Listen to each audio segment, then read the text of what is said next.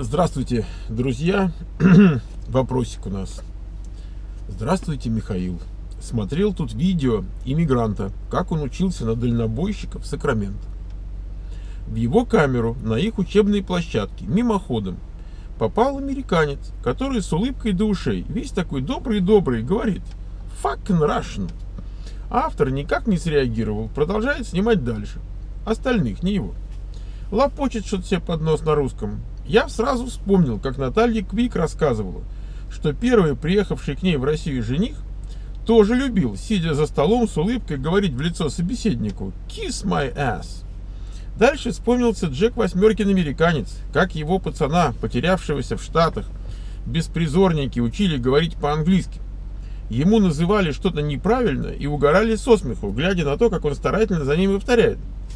Расскажите, пожалуйста, а вам приходилось сталкиваться с такой фигней, фигой в кармане? Насколько характерно это явление? Как к таким выходкам следует относиться? Ну как? Интересно. Ну, поговорим. Э, первая мысль, которая у меня значит, возникает, состоит в том, что э, существенно, что блогер э, обучался на э, водителя там этого трака, да, на дальнобойщика. Я вас уверяю, что если бы он учился на PhD по микробиологии, то ничего такого бы ему в, камеру не попало. Значит, э, таким образом, существенно, как бы на какой социальной лестнице там на какой ступеньке этой социальной лестницы он находится. Когда вы говорите про Джека Восьмеркина американца, вы же сказали, что это были беспризорники. То есть люди, ну, как бы, не то чтобы там из э, физмат-школы, понимаете, там э, элитарной. Ну, хотя и в физмат-школе разные бывают, конечно, тоже дети. Но, но все-таки, значит, э, Наталья Квик рассказывала про некультурного дядьку, который приехал к ней женихаться в Рыбинск. Я, я смотрел это видео, оно очень смешное. Эм, вот. Но он какой-то был весь ужасно некультурный, и Наташу поверг вообще в жуткое э, такое ну, состояние своей некультурности. Вот был какой-то такой некультурный американец, неманерный совсем, если мягко сказать. Ну, бывают всякие люди неманерные. Э, да, он был такой self-employed, он э, в карты играл, а, по-моему, в казино. И вот с этого жил. То есть такой очень специфический был мужчина. И можете представить его круг общения. Такой полукриминальный в целом. Поэтому эм, вот, вот, собственно, и весь ответ. То есть эм, люди, которые мало, так сказать, культивированные, вот, они, соответственно, не несут на себе отпечатка вот этого когда человек ну, следит за своей речью, э, старается, ну, как бы, не сказать ничего такого, что может задеть э, окружающих. И, кроме того, это определенный же юмор. Вот он говорит там fucking Russian.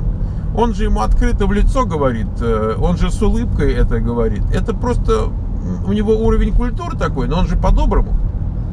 Вот, поэтому он просто так выражается. Вы посмотрите на людей, которые вокруг вас, э, вот там, где вы находитесь.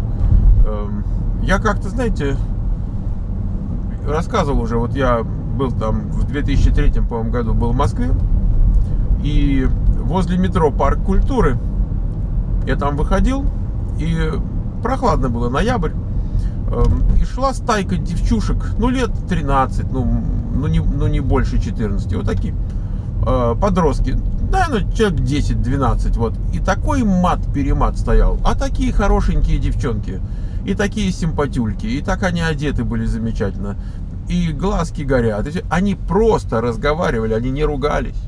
Они просто разговаривали. Понимаете? Такой мат-перемат, что вот в советское время представить себе, что девочки могли бы так разговаривать, э, это даже не мыслимо. В публичном месте, на улице, в Москве. Я, я не представляю. Поэтому, ну а чего? Ну они так говорят, ну. Э, поэтому они, наверное, и шутят так, и, в общем, э, что тут? Разве нас можно этим удивить? Разве мы из такого места, где это редкость вот такое? Да нет, в общем-то, это, как бы, я бы сказал, что и в наше время было сплошь и рядом. И вот это вот, э, вот эта шуточка, когда тебя учат говорить чему-нибудь неправильному, э, значит, вот она тоже э, присутствует. Я помню одного тоже, ну, блогером не назовешь, но вот некий человек там видео вешал, как он в Америку приехал, я не знаю, что он тут делал, work and travel или там нелегалом был.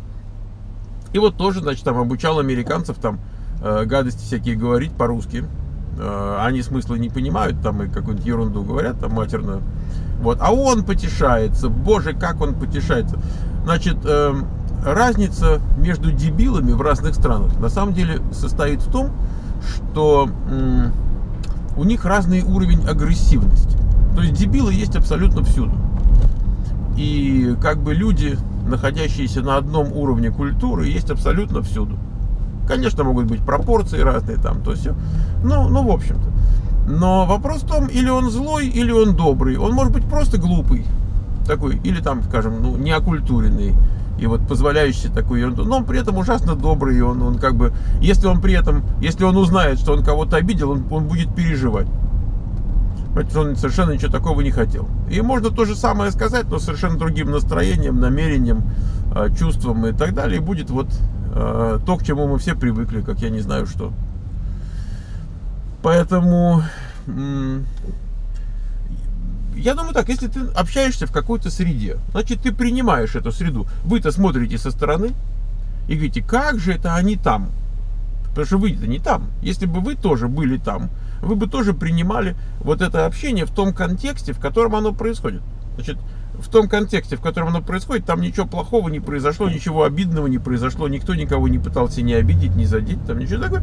Просто люди вот так общаются, вот такие вот, такие они, э, да, значит, э, ну что, что делать?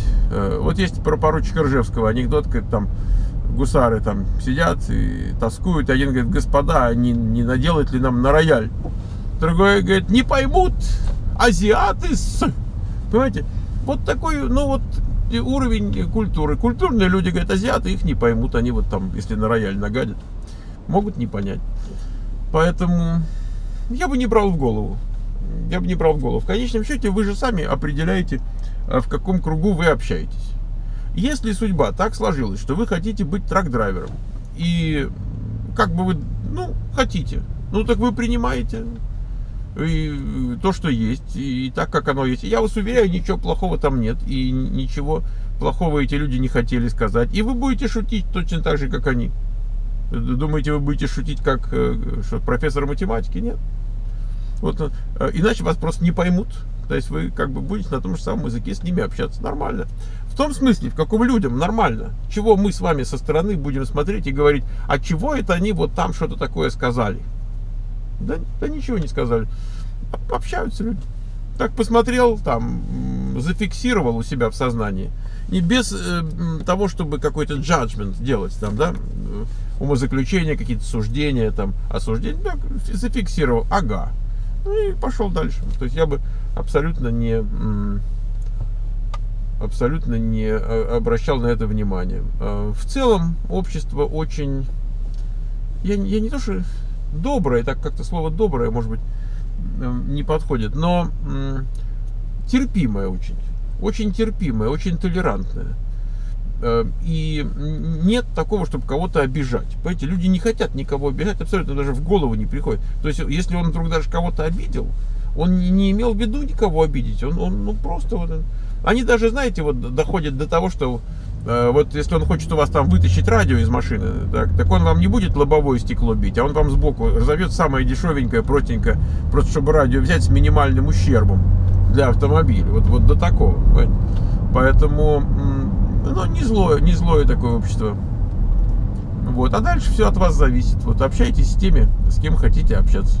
И все. И никто вас не заставит общаться с какими-то людьми, которые вам не симпатичны в силу тех или иных причин. Я бы так сказал. Счастливо!